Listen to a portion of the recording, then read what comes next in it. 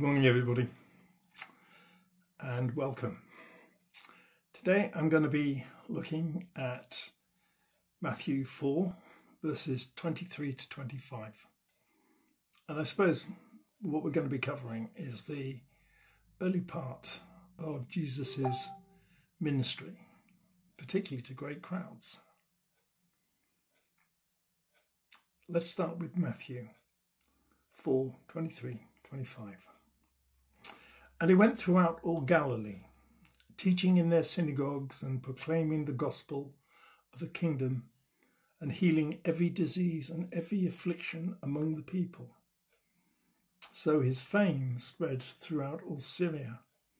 They brought him all the sick, those afflicted with various diseases and pains, those oppressed by demons, epileptics, and paralytics, and he healed them. And great crowds followed him from Galilee and the Decapolis, and from Jerusalem and Judea, and from beyond the Jordan.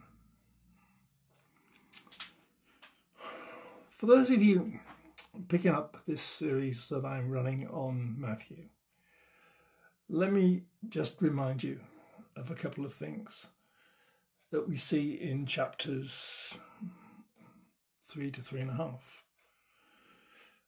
In these chapters, Matthew describes occurrences that are important but are actually introductory. He talks about his birth, his early life, his baptism, and his temptation, etc. But by the time we reach 423, we see a shift in Matthew's style as he plunges us into the actual ministry of Jesus. This is the bulk of his book and will continue throughout the book until it gradually shifts focus to Christ's preparation for the crucifixion. Now let's remember that Matthew's great strength lay in recording Jesus' words. Without him, I believe we would live in a very different world. For a majority of Jesus' teaching would be lost, especially his direct instructions on how we should live our lives. However, as a history of the life of Jesus, Matthew's Gospel lacks some of the details which we find in other Gospels. In today's lesson, we were not given any specific details at all, yet the passage itself, the events it describes, must cover some goodly period of time and distance. For enough time had passed that the word of Christ, we know, had spread to as far south as Jerusalem, east to the Greek cities, and on the other side of the Jordan, the Decapolis, and to the north Syria. Well, this was some quite large geographical spread. We have to remember also that this would have taken some time. We don't know exactly.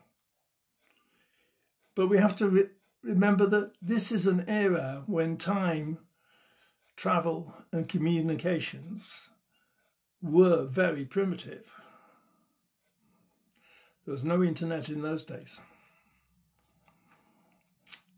Often makes me wonder what it would have been like had there been an internet in those days.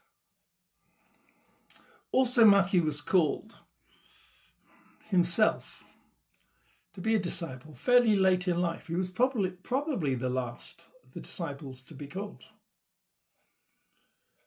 Uh, and if you remember in the introductory session, I referred to him as slightly being an oddball. He was a tax collector. But I also pointed out that he knew how to read and write and be precise in what he was doing. Hence, we get a gospel enriched by the power that is in the words of Christ himself.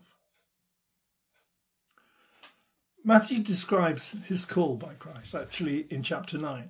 but Luke and Mark put it earlier. Harmonizing the chronolo- chronology of the four Gospels is beyond the scope of what I intend to study.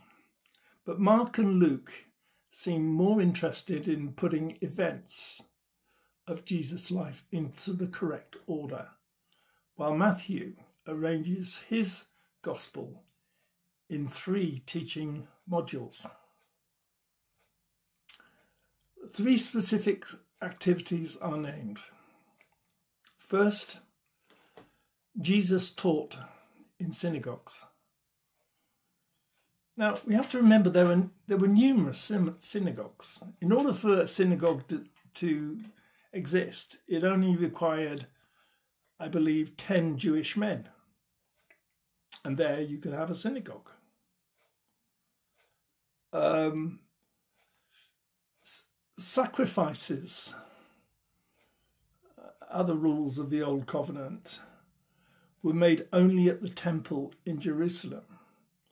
So you could say that synagogues were primarily for an, an educational purpose. trying to liken it to something today. For those of you that are familiar with the Quakers, or have ever been to a friend's meeting house, as their churches are called. Synagogues were a little bit like this. They didn't have traditional preachers or pastors, leaders. Um, there was little set structure or little set routine. Yes, a portion of the Torah would have been read and prayers would have been said. We know that. But after that, as in a Quaker meeting, educated members of the congregation would just stand up and teach. There was no set formula for it. Indeed, learned visitors, as Christ would have been viewed as a learned visitor, were most welcome in synagogues to speak because they would bring often with them a refreshing new viewpoint. As we will see in the later chapters, Jesus might have had a fresher viewpoint than most syn- synagogues expected. He would, in fact, cause a furore with his revolutionary and even some would call heretical teachings. Secondly, Christ proclaimed the gospel. That is, he told them the good news that the kingdom of God had arrived. Everything they'd been waiting for, he said, is now here and present. Now, whether Christ lays claim to divinity during this period, we don't know. But he surely attacked the Pharisees and their hypocrisy and laid the foundation for the new covenant that salvation would require a change within us, not simply compliance to the laws of Moses. Thirdly, Christ healed. Generally, and I say generally because it wasn't always the case, generally, Christ's healing and the healing of his apostles would occur only in people who had faith in him and his word. Now, this wasn't seen as some sort of reward. It wasn't a method to manipulate people into out, outward protestations of faith. No, it was rather a sign that Christ could remit sin, and not just personal sin. Least we should ever forget the sin of Adam, which had and still does engender all human misery. Let us pray. Father God, we give thanks to you for your word. We give thanks in the sure and certain knowledge that it is true. We ask you, Lord, to open our hearts, to give us rhema and understanding, so that upon understanding, Lord, we may make whatever course corrections we personally have to make in our lives. Lord, we thank you for the riches, honour, and life that you promised those of us who live in your covenant will receive. Hear our prayers, Lord. Let our cries come unto thee. Through Jesus' name. Amen. Okay. So we're moving on through Matthew, gone through the early stages. And tomorrow, when we look again at Matthew, we'll be picking out again some of the key points of what our Lord Jesus Christ actually said and trying to gain real understanding, not superficial understanding, real deep understanding of what they mean. Wherever you are today, however you, like Christ, are trying to grow the kingdom of heaven,